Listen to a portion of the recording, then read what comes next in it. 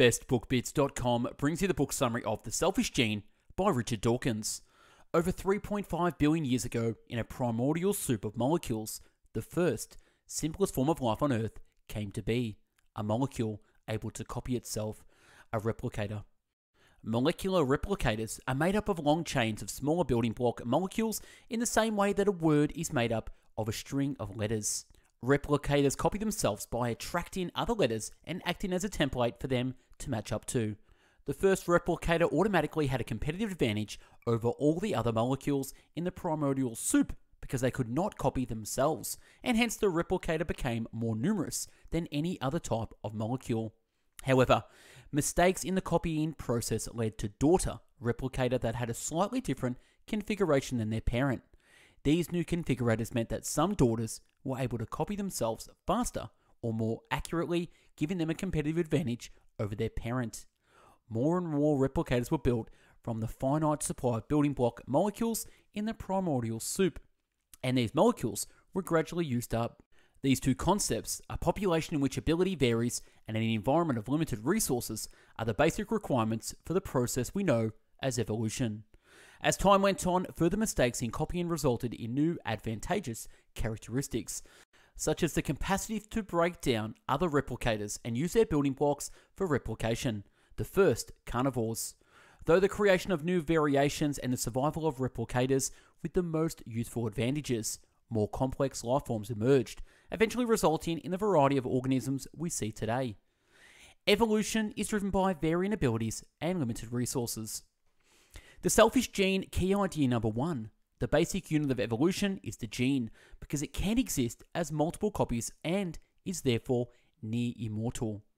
Evolution occurs through differential survival.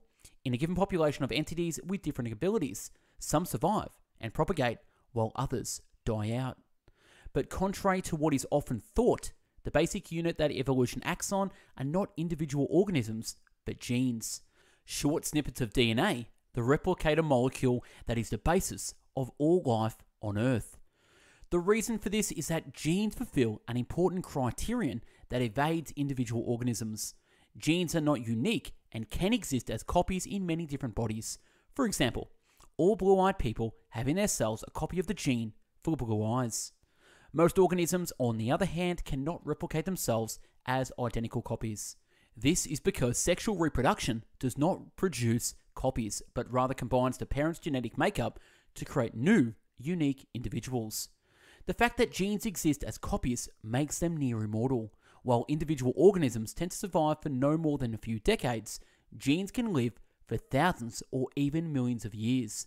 Consider that while your young ancestors are long dead, you no doubt carry plenty of their genes in your cells and will in turn pass on at least some of them to your descendants. It is the gene's multiplicity and potential for immortality that makes them candidates for evolution to act upon. The basic unit of evolution is the gene because it can exist as multiple copies and is therefore near immortal. The selfish gene key idea number two genes are selfish by definition. A gene is selfish. It acts in a way that promotes its own survival at the expense of other competing entities. However, Genes themselves have no conscious motives. It is simply their behavior that we can describe as seemingly selfish. Similarly, while the process of evolution could appear to be motivated towards creating entities that are suitable to particular environments, it is not consciously trying to achieve this. To understand why genes seem selfish, we must examine the physical environment they exist in. Genes come in packages called chromosomes, which are sheltered within the cells that make up an organism. Chromosomes come in pairs. Humans have 23 pairs, 46 chromosomes in total. Both chromosomes in a pair have the same organizational structure, so if an area of one chromosome houses the gene for eye color, then the other chromosome will have a gene for the eye color in the same location.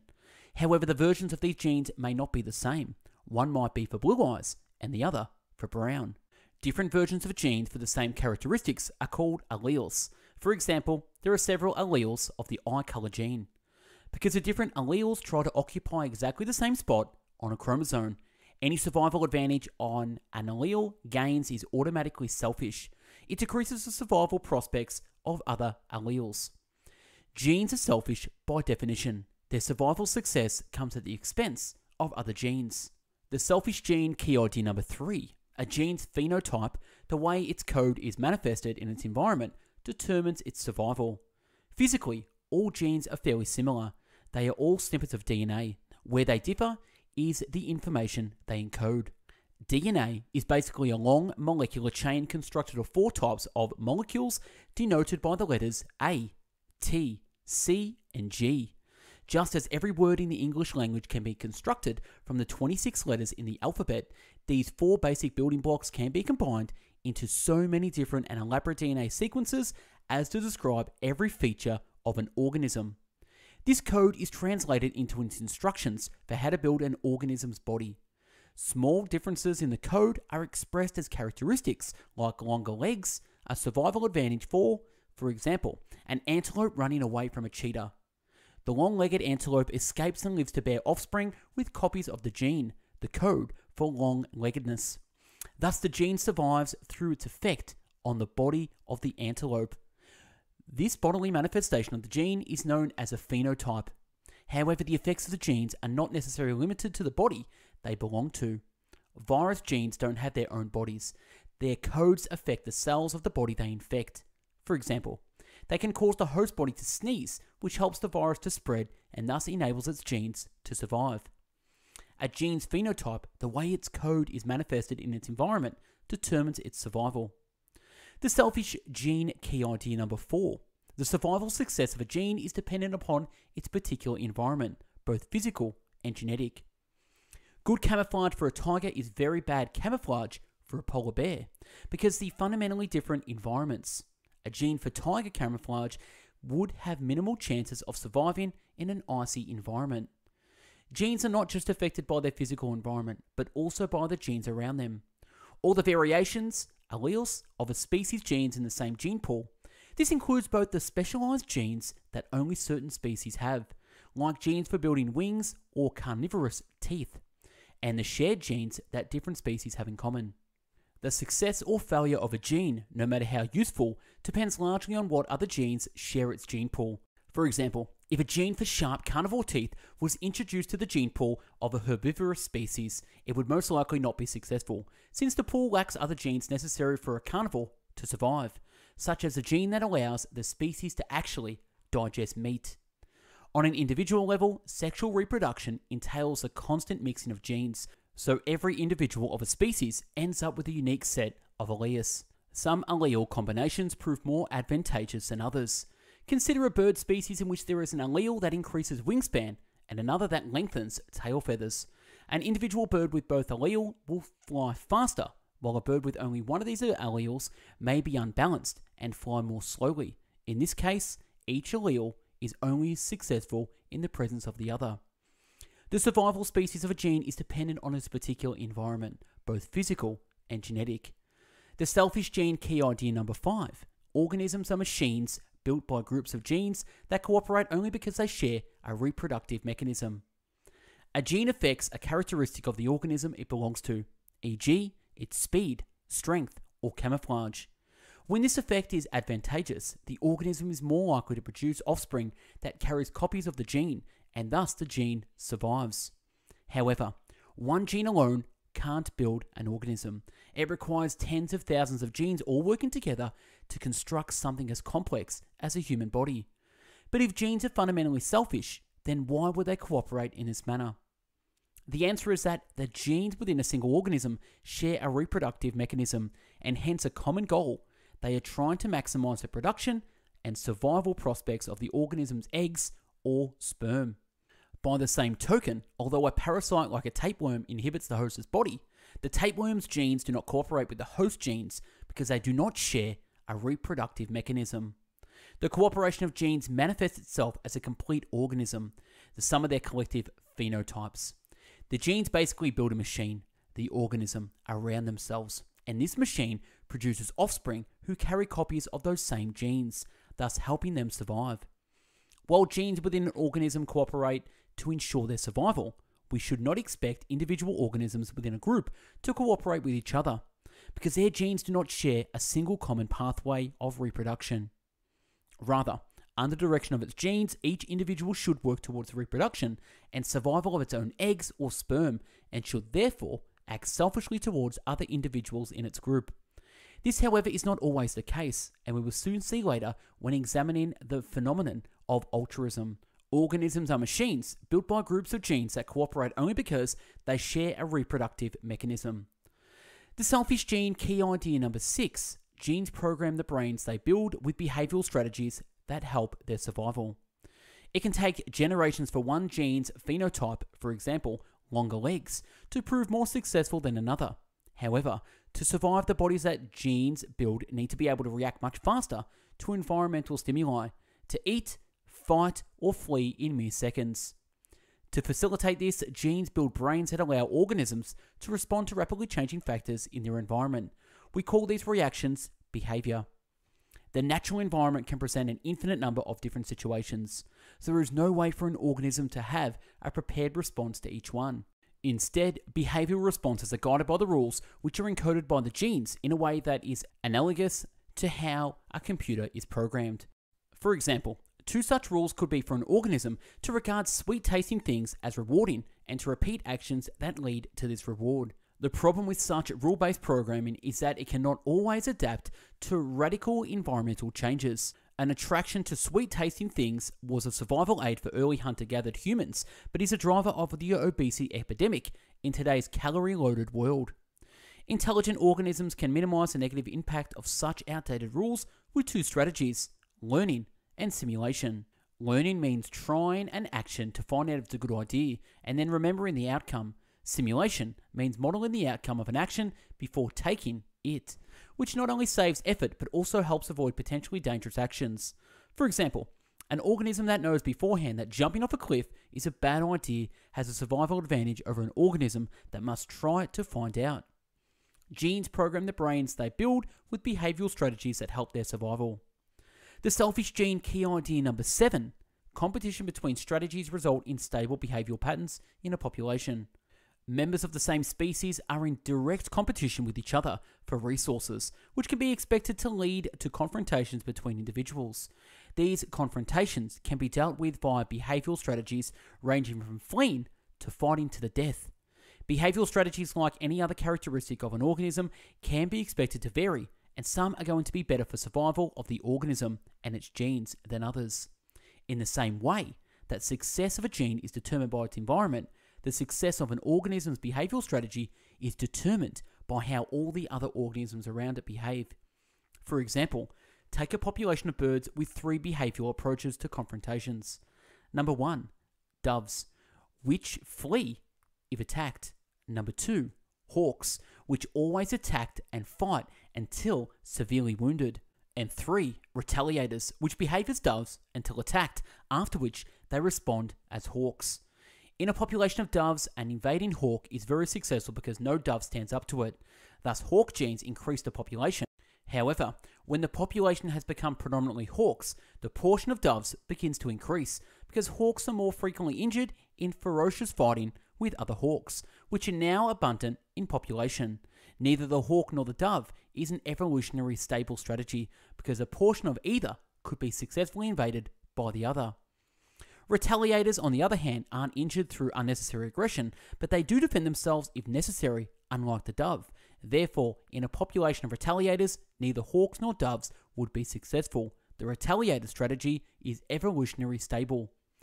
Competition between strategies result in stable behavior pattern in a population. The selfish gene key idea number 8, the selfish survival drive of genes, explains apparently altruistic behavior like parental care. As pointed out earlier, because genes control behavior and genes are selfish, then we can expect organisms within a group to behave selfishly towards each other. However, there are many examples of behaviors in nature that appear altruistic, not least of which are many examples of extremely devoted parental care, such as a mother bird feigning a broken wing to lead a fox away from her young. Altruism here can be defined as behaving in a way that reduces one's own chance of survival for another's benefit. This apparent contradiction disappears when considered in the light of one basic characteristic of genes. They exist as multiple copies in multiple organisms, thus, genes program behaviors that benefit their copies in other organisms, even at the expense of their own organism, but only if it produces a greater overall survival benefit to the gene. How does a gene know that other organisms is carrying copies of its genes? It doesn't. Genes aren't conscious and don't know anything, but organisms that are kin do share copies of genes. Hence, genes that program organisms to aid their kin gain a survival advantage and thus lead those behaviors to survive too.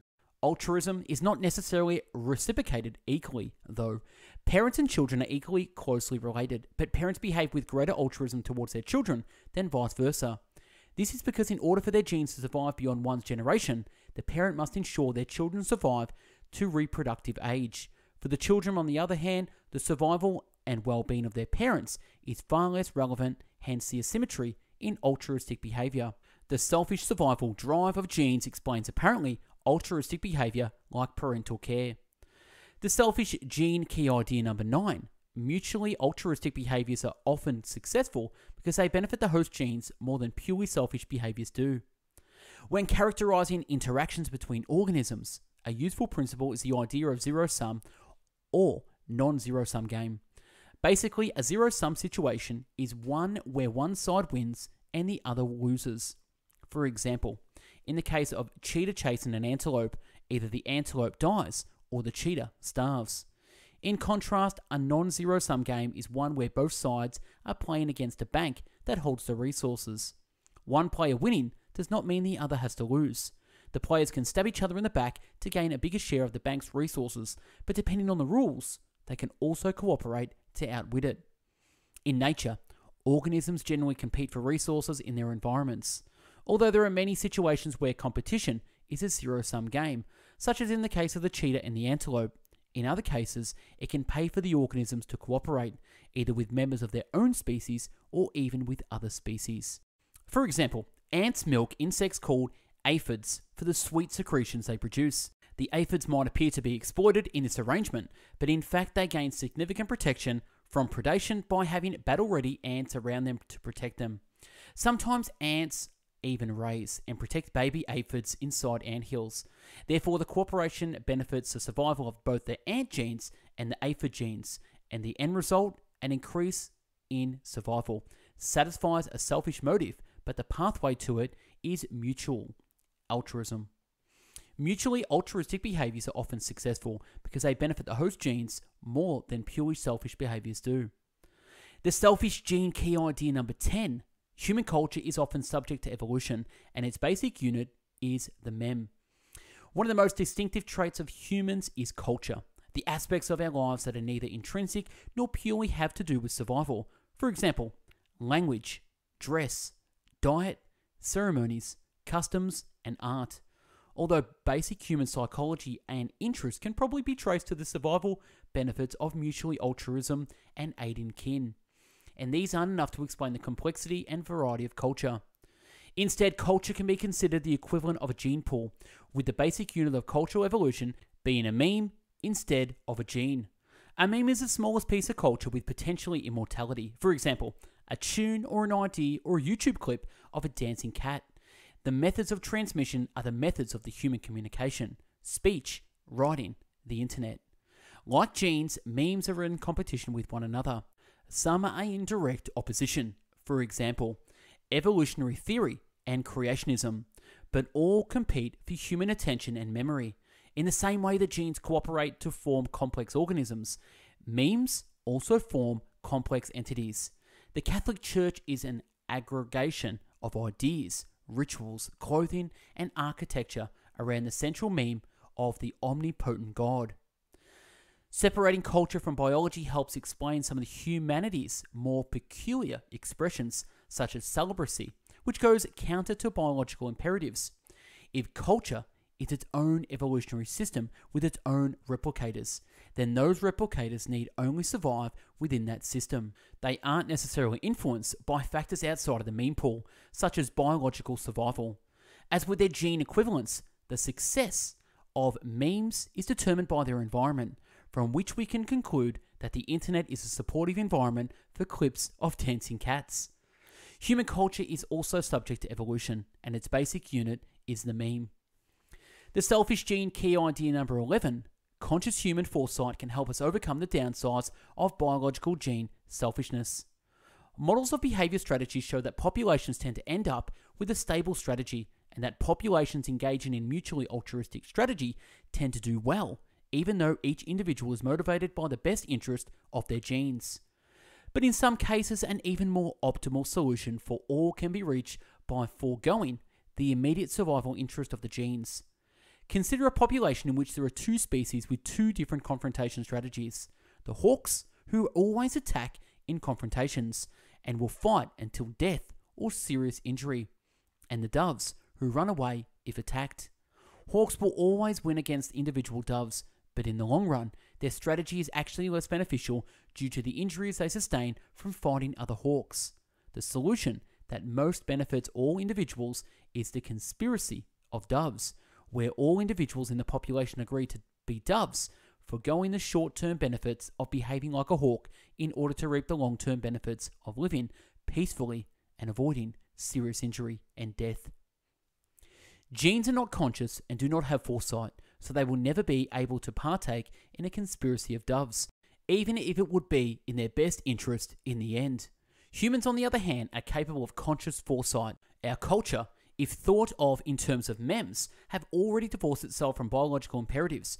We may not be genetically or intrinsically altruistic, but we can use our foresight to counter gene selfishness and, at the very least, to enter into a conspiracy of doves for our own future benefit. We may even be able to attain the true altruism that does not exist in nature. Conscious human foresight can help us overcome the downsides of biological gene selfishness. In review, the Selfish Gene book summary. The key messages in this book is evolution occurs through the action of natural selection on genes, not on individuals or species. Genes are selfish by definition in that the genes that promote their own survival at the expense of other genes tend to be more successful, and animal behaviors can be traced to selfishness on the part of their genes. The questions this book answered. In the summary of The Selfish Gene by Richard Dawkins, and how are genes central to this? Evolution is driven by varying abilities and limited resources. The basic unit of evolution is the gene because it can exist as multiple copies and is therefore near immortal. Genes are selfish by definition. Their survival success comes at the expense of other genes. A gene's phenotype, the way it codes is manifested in its environment, determines its survival. The survival success of a gene is dependent on its particular environment, both physical and genetic. How does selfishness at the level of gene influence behavior at the level of the organism? Organisms are machines built by groups of genes that cooperate only because they share a reproductive mechanism. Genes program their brains, they build with behavioral strategies that help their survival. Competition between strategies results in a stable behavior pattern in a population. Mutually altruistic behaviors are often successful because they benefit the host genes more than purely selfish behaviors do. What applications does this theory have for human behavior and cultural development? Human culture is also subject to evolution, and its basic unit is the meme. Conscious human foresight can help us overcome the downsides of biological gene selfishness. And that's a wrap on the book summary of The Selfish Gene by Richard Dawkins. But before you go anywhere, if you want to support Best Book Bits, the ways you can do this is to subscribe to our YouTube channel, hit that notification bell, like the video, share, and comment. Also, just quickly to let you know about the products and services we have, I've done a book called Success in 50 Steps, the proven formula that works, where I've taken over 500 book summaries, condensed it down into one massive personal development book where you can purchase on the link below. You can also hire me for coaching and mentoring as well if you want to achieve your dreams and goals faster than you can by yourself. We've also done 150 of the best book bit summaries popped into a PDF over 2,500 pages, 50 hours of video, and 50 hours of audio where you can download with the link below. I've also put together my course called 28 Steps to Making Your Best Year Ever, which you can download in the link below. Check us out at bestbookbits.com, the world's largest free book summary website, where you can access over 600 book summaries there. You can also follow us on Instagram at bestbookbits, and if you want me to do a book summary, DM me there for which book you want me to do a summary on, and I'll add it to the list. You can follow us on Spotify, where we have over 600 audio summaries. We first upload our summaries on Spotify first, then YouTube second. Follow us on Facebook at Best Book Bits, where you have a free book club where we share books, ideas, and thoughts. Um, you can also get updated with the latest book summaries via email if you pop your email in the link below. You can support us on Patreon if you feel like it, and check out the top book summaries we have on YouTube. Thanks for watching and listening, and I hope you learned a little bit about The Selfish Gene by Richard Dawkins. Take care. Bye bye now.